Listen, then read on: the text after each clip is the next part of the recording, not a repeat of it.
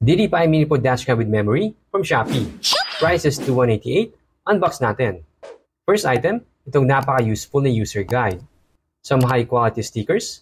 Of course, itong DD5 Mini Pod Dashcam. Ito yung speaker. And ito naman sa baba, yung microphone. Memory and micro USB slot here. Cylindrical yung form nito at napakaliit. Very recognizable and unique ang build nito kumpara sa ibang dashcam sa market. Especially with this adjustable camera tilt. Ayos, di ba? Ito yung napakahabang power cable. Micro USB on one end, USB on the other. And the 12 volts lighter plug. Sobrang useful itong dalawang item here. Kaya basahin at gamitin na mabuti. Alright, sa 2188 na binayad ko, may kasama nitong 32GB micro SD card. In-house brand yung memory card, pero sigurado, compatible ito sa Mini Pro dahil recommended pa ito ng supplier. Mga kagulong, madali lang ang pag-install ng DD5 Mini Pro Dashcam at napakalinis signan nito once nakabit na.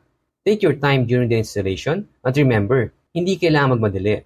Check this out. Sa point of view ng driver, hindi makikita yung dashcam kasi nakapwesto ito sakto sa likod ng rearview mirrors. Yung power cable naman, madali lang itong itago at igapang gamit yung prying tool na kasama sa package. Ito kabilang dulo ng cable, connected na. Kita niyo yung blue light? Available sa Google Play and Apple App Store ang DDPi app.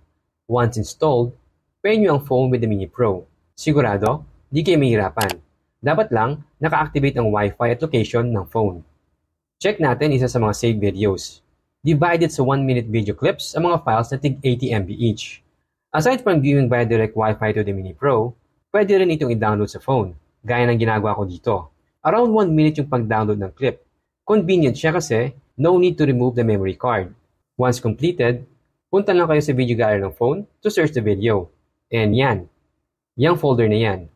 Open, then select the video to play. There. Ito naman, ang actual video and audio file itself from the Mini Pro. Na-connect mo na dyan sa'yo. Hmm, sorry ka na. That is it mga kagulong para sa DD5 Mini Pro Dashcam. Budget friendly, yet it has what we need from a dashcam. If you're interested to buy, nasa video description ng Shopee link. Buying from my link helps Matefan channel grow, and I thank you in advance for your support. Ingat sa biyahe mga kagulong, at kita-kits sa susunod kong video.